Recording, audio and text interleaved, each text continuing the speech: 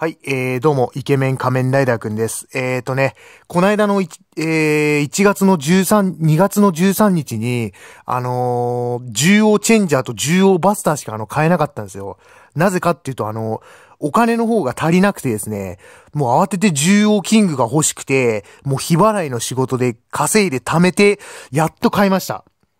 ね、これでもうすべて僕の動物戦隊重王者で今欲しいものはすべて揃った。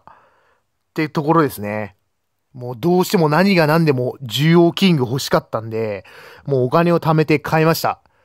で、えー、ちょっと少し上を見ますと、えーとね、あの、ジュウオウイーグルがいますね。本能覚醒。この星を舐めるなよ。はい、えー、ということで、えー、重要イーグ、キューブイーグル、キューブシャーク、キューブライオン、えー、完成重要キング。えー、完成重要キング、直感的変形と驚きの合体ギミックってことでね。はい、えー、皆さんもね、えーと、毎週日曜日、えー、朝7時半はね、えー、動物戦隊重王者本能覚醒だってことで、皆さんお見逃しなく、よろしく。本能覚醒